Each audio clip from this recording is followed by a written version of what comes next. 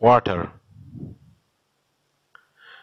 Structure in properties. My name is dr alam zaib i am a professor at the department of biochemistry university of malacca and this lecture is a part of our course uh, introductory biochemistry. So what is a water molecule? Water is basically formed when two hydrogen atom bonds to one oxygen atom uh, the molecule of water is not symmetrical. It is uh, rather uh, tetrahedral in nature. Electrons spend more time near the oxygen and less time near the hydrogen. So you can see here uh, from the different colors the distribution of uh, electrons. So this uh, water molecule are held together by hydrogen bonds between oxygen atom and the hydrogen atom uh, there is a greater concentration of electron around the nucleus of the oxygen uh, than around the uh, hydrogen atom. So you can see in this case the outer shell of oxygen contain um, two lone pair of electron uh, so one hydrogen uh, share this electron and the other hydrogen share this particular for example this electron. And thus uh, these two lone pairs are outside the um, uh, these are also present in the system. So therefore the hydrogen end is slightly positive and the oxygen end is slightly negative. Thus uh, this slight negative make it dipolar or simply apolar molecules. When molecule, water molecule attract to one another, the hydrogen end of one molecule is attracted to the oxygen end of another. Uh, you can see here these uh, green uh, dotted lines which are that of the uh, hydrogen bondings. Um, now the states of water Water is the only substance found on the earth in all three states or we call it phases. Uh, the first one is liquid. You can see here in this uh, structure um, the water molecules are held uh, close together but in a random uh, way. While the second state is that of the solid uh, which is also called ice in which molecules are close together forming solid phase However, the arrangement are a little bit more uh, in order. Uh, in the case of uh, gases, which or steam or vapor, molecules of water um, are held uh, far from each other. You can see here the water vapors in the skies, which we call clouds, etc um, these physical three states of water molecules we know that uh, the water molecules are constantly moving uh, and temperature uh, enhancement can increase the moment. Uh, you can see when a sunlight um, fall on these water vapor uh, it is uh, water molecule they are evaporated. So ice melts into simple liquid water molecules. Uh, next is the hydro hydrological cycle uh, or simply we can call it uh, the water cycle.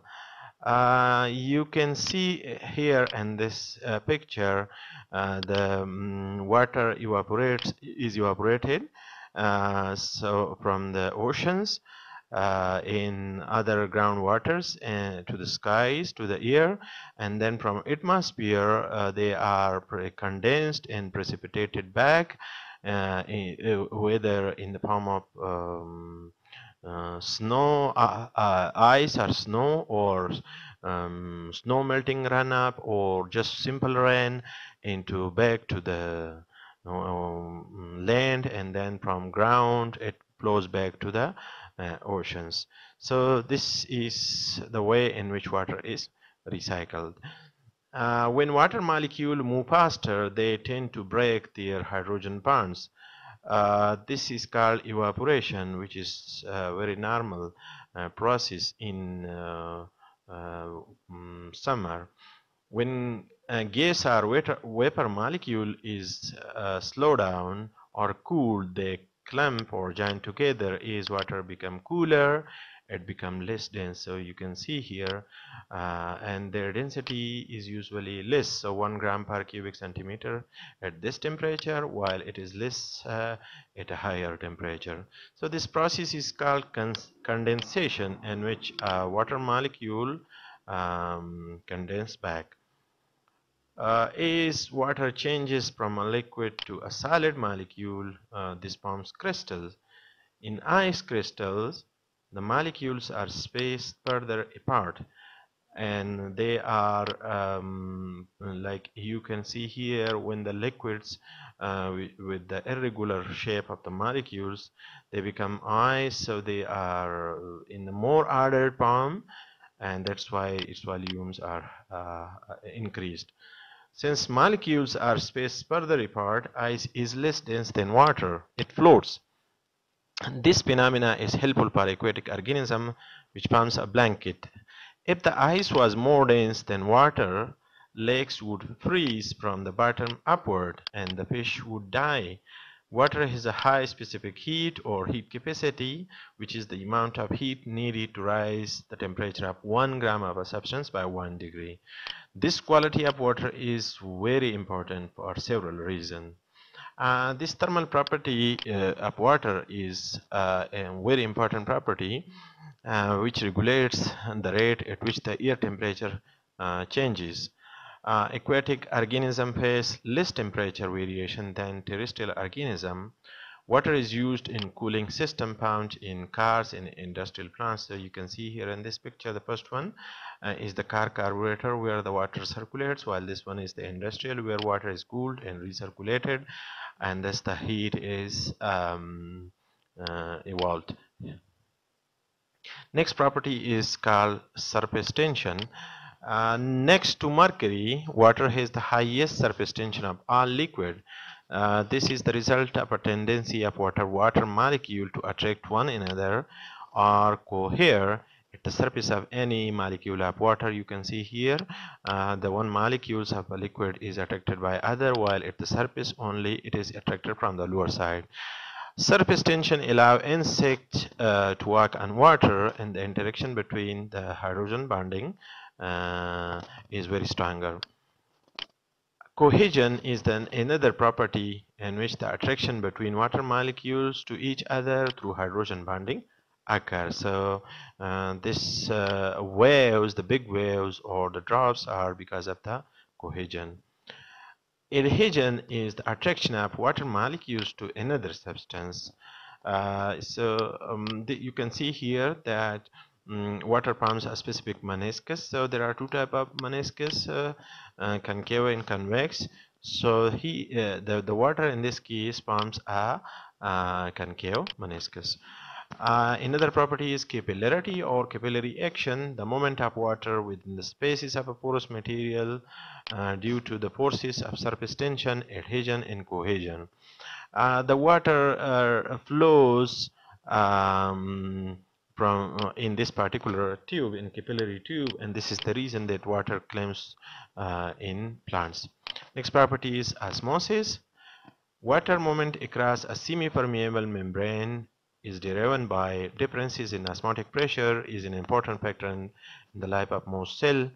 Plasma membranes are more permeable to water than most of the other small molecules and our macromolecules. So you can see here when um, a cell is present in the isotonic solution, it do, the water do not move while a cell in a hypertonic solution, uh, water moves out of the and the cell shrink while when cell is placed in a hypotonic solution, water moves creating outward pressure, uh, cell swells and may eventually burst. Uh, pH alkalinity or acidity. Uh, pH is uh, the measurement of hydrogen ion concentration found in that particular substance.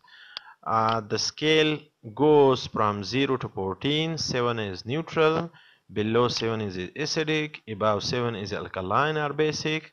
One pH unit represent uh, a tenfold change in the protein ion concentration. So you can see here the battery acid um, lemon juice apple juice tomato juice these are in the acidic vinegar. These are the acidic range while uh, pH 7 is a neutral one. Uh, seawater alkaline uh, milk magnesia baking soda ammonia they have on the higher um, pH and they are usually uh, basic in nature water is a solvent this is another important property since water can dissolve more things than any other natural substance. It is known as universal solvent. And the property of solvent include interaction with other polar compound and is repelled by non-polar compounds. Small size allow it to saturate areas, can convey other substance in solution. Water is especially good at dissolving salt. Salt form from the combination of particles with opposite electrical charges or ions, for example, sodium and chloride. When salt is placed in water, the strongly charged salt ion attract to weaker charged water molecules. So you can see here that um, a negative charge is reflected by hydrogen of the water molecules, while a positive is reflected by uh, attracted by the negative of the ions. Water molecules surround each ion, salt crystal thus um, dissolve is dissolved.